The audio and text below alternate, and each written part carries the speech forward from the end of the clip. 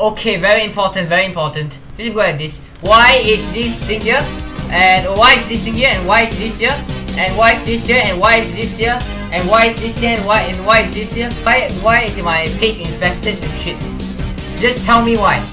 Tell me why Google. Why is my page infested with this stupid crap that I don't I'm not interested in at all? Tell me why.